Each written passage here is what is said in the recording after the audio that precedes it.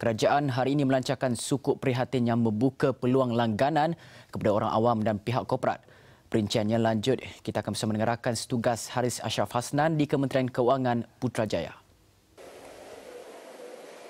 Baiklah, uh, terima kasih rakan segas di Bukit Kewangan Kuala Lumpur. Dan uh, seperti yang dimaklumkan hari ini kerajaan uh, melancarkan uh, sukuk prihatin di mana sukuk digital pertama di Malaysia dilancarkan hari ini uh, yang dilancarkan oleh Perdana Menteri Tan Sri Muhyiddin Yassin uh, bersama dengan uh, Menteri uh, Kewangan uh, Tengku Datuk Sri Zafrul Tengku Abdul Aziz yang disaksikan oleh uh, yang di-Pertuan Agong Al-Sultan Abdullah Riayatuddin Al-Mustafa Billah Shah.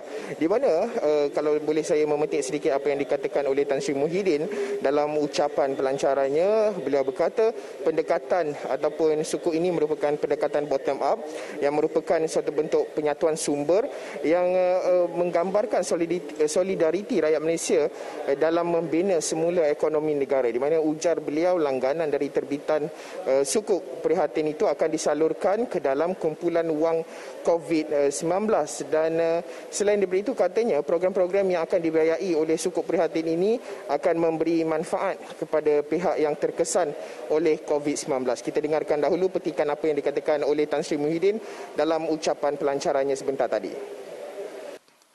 Dan ini termasuklah pertamanya mendambah baik konektiviti di sekolah-sekolah di kawasan pendalaman agar anak-anak kita yang terkesan oleh boleh meneruskan pembelajaran secara digital.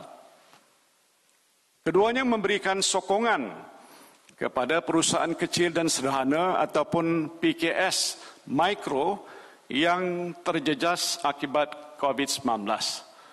Terutamanya lah usahawan-usahawan wanita. Dan ketiga, kerajaan juga akan memperuntukkan sebahagian daripada dana sukuk prihatin ini untuk perbelanjaan kesihatan termasuk penyelidikan penyakit berjangkit atau infectious diseases. Ini akan memanfaatkan usaha Kementerian Kesihatan dan institusi pendidikan awam serta institut pengajian tinggi dalam kajian terhadap sesuatu penyakit ataupun wabak berjangkit. Baiklah, uh, menyaksikan pelancaran itu uh, di mana Yang di-Pertuan Agong Al-Sultan Abdullah berkenan mencemarduli menyaksikan pelancarannya dan uh, baginda juga berkenan menjadi individu pertama melabur dalam sukuk tersebut.